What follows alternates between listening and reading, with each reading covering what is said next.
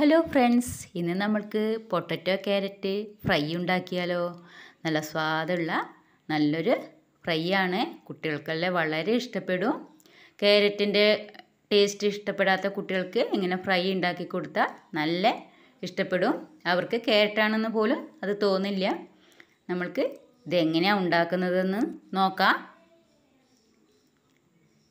ഞാൻ അതിലേക്ക് മുന്നൂറ് ഗ്രാം ഉരുളക്കിഴങ്ങ് തോലൊക്കെ ചീവി കഴുകി വൃത്തിയാക്കി ചെറുതായിട്ട് അരിഞ്ഞ് എടുത്തിട്ടുണ്ട്. ഇനി ഇതിലേക്ക് നമ്മൾക്ക് ഇരുന്നൂറ് ഗ്രാം ക്യാരറ്റാണ് ഞാൻ എടുത്തിട്ടുള്ളത്. അതും കഴുകി വൃത്തിയാക്കി ചെറുതായിട്ട് അരിഞ്ഞെടുത്തതാണ്. ഇതും ഈ പാത്രത്തിലേക്ക് നമുക്ക് ഇട്ട് കൊടുക്കാം. ഇനി ഇതിലേക്ക് ഒന്നര ടീസ്പൂണ് മുളക് പൊടി ചേർത്ത് കൊടുക്കാം. ഇനി ഇതിലേക്ക് കാൽ ടീസ്പൂണ് മഞ്ഞൾപ്പൊടിയും ആവശ്യത്തിനുള്ള ഉപ്പും ചേർത്ത് കൊടുക്കുക.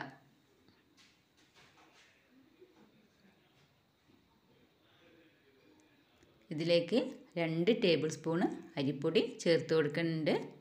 വറുത്ത അരിപ്പൊടിയല്ല സാധാരണ നമ്മുടെ റേഷൻ കടകളിൽ നിന്നൊക്കെ കിട്ടുന്ന വെള്ള അരിയാണ് ഞാൻ പൊടിച്ച് വെച്ചത്. അതാണ് ചേർത്ത് കൊടുക്കുന്നത് ഇനി ഇതിലേക്ക് ഒരു ടേബിൾ സ്പൂണ് കോൺഫ്ലവർ കൂടെ ചേർത്ത് കൊടുക്കുക.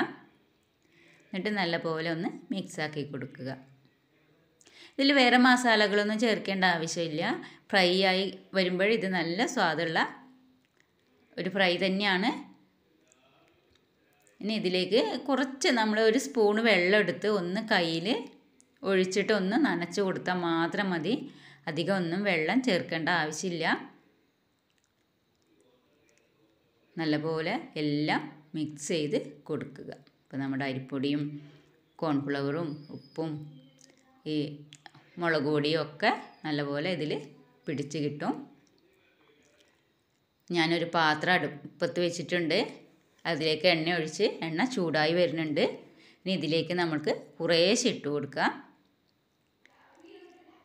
ഇതിട്ട് കൊടുത്ത് ഒരു മിനിറ്റ് കഴിഞ്ഞതിന് ശേഷം മാത്രം നമ്മളൊന്ന് ഇളക്കി കൊടുത്താൽ മതി. അപ്പോഴത്തേനും പെട്ടെന്ന് നമ്മൾക്ക് ഇത് വിട്ട് കിട്ടും. കുറേശ്ശെ ഇട്ട് നമ്മൾക്ക് എല്ലാം വറുത്ത് കോരി എടുക്കാം. ഈ കുട്ടികൾക്കൊക്കെ നല്ല ഇഷ്ടമാവുന്ന ഒരു ഫ്രൈ ആണ്. സ്കൂളിലൊക്കെ ഇപ്പോൾ സ്കൂളൊക്കെ തുറന്നല്ലോ. അപ്പോൾ സ്കൂളിലൊക്കെ പോകുമ്പോൾ ലഞ്ച് ബോക്സ് കൊടുത്തേക്കാൻ പറ്റിയൊരു ഫ്രൈ ആണ്. ക്യാരറ്റ് ചില കുട്ടികൾക്ക് ഇഷ്ടാവാറില്ല. അതിന്റെ സ്മെല്ല് ചില കുട്ടികൾക്ക് പിടിക്കാറില്ല.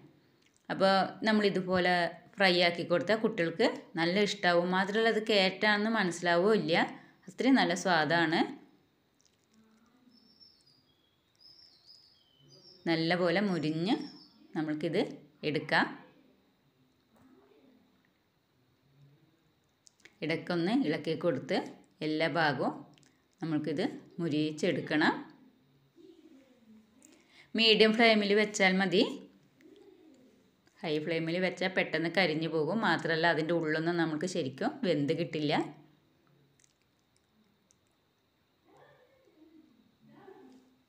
ഇതെല്ലാം കുറേശ്ശെ ഞാൻ വറുത്ത് കോരി എടുത്തിട്ടുണ്ട്. ഇനി നമ്മൾക്ക് ഇതിലേക്ക് കുറച്ച് കറിവേപ്പിലയും രണ്ട് പച്ചമുളക് ചെറുതായിട്ട് അരിഞ്ഞതും കൂടെ ഇട്ട് കൊടുത്ത് ഒന്ന് വറുത്തെടുക്കാം.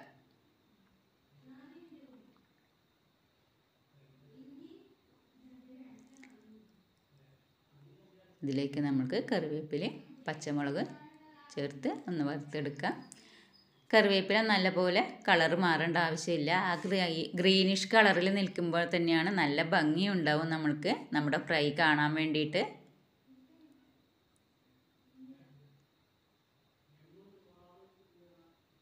ഇത് ഞാൻ വറുത്ത് കോരിയെടുത്തിട്ടുണ്ട്.